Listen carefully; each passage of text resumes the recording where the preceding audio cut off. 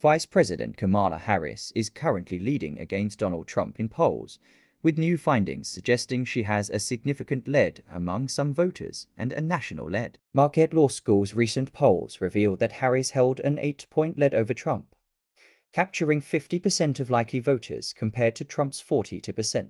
She also led Trump among registered voters 47% to 41%.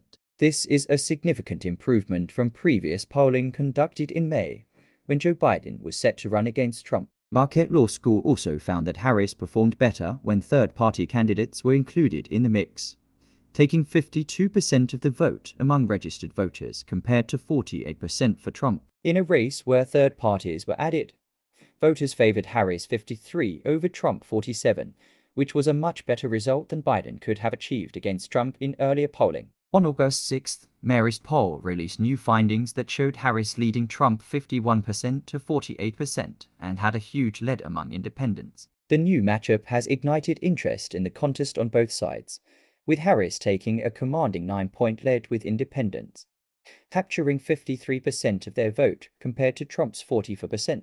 Harris also leads Trump by 14 points with women 55-42, though it is important to note that the new Marist poll found Harris losing men to Trump by 9 points 50 for 45. NPR and PBS News commissioned the polling, pointing out that Harris captured black voters, white women with college degrees, and women who identify as political independents. While shifting polling numbers are not expected to stay, things are looking better for Democrats just weeks after Biden stepped down and Harris replaced him at the top of the ticket.